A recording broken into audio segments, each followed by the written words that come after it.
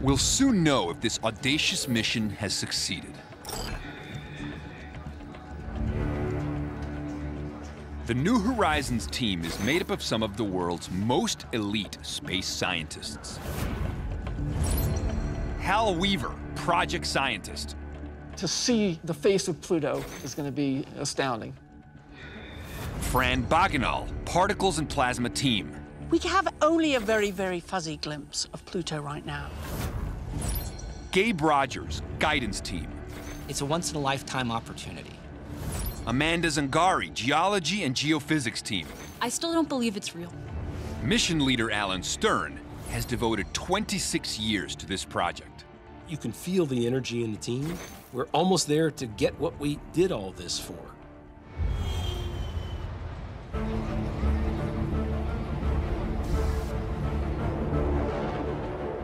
New Horizons blasted off on its epic voyage in 2006.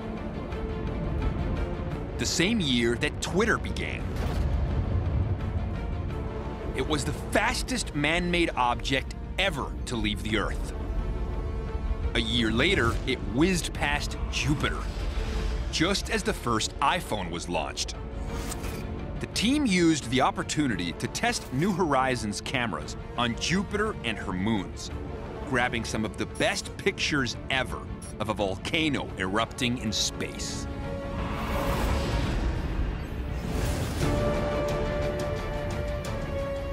All through 08 and 09, it sped silently through empty space as the world descended into financial chaos.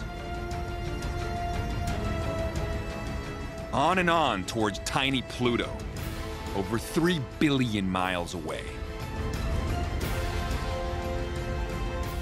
A thousand pound masterpiece of engineering the size of a grand piano, hurtling through the outer solar system at 10 times the speed of a bullet.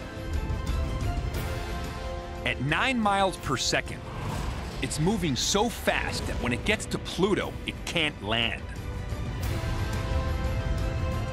During encounter, it will attempt to swoop over the surface, taking the critical photographs and measurements in less than two hours.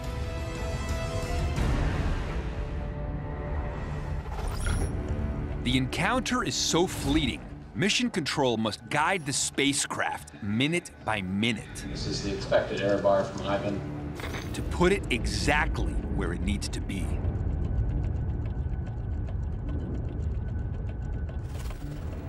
We're trying to basically figure out exactly where the spacecraft is with respect to Pluto. So that's what we're doing right now um, up on the spacecraft.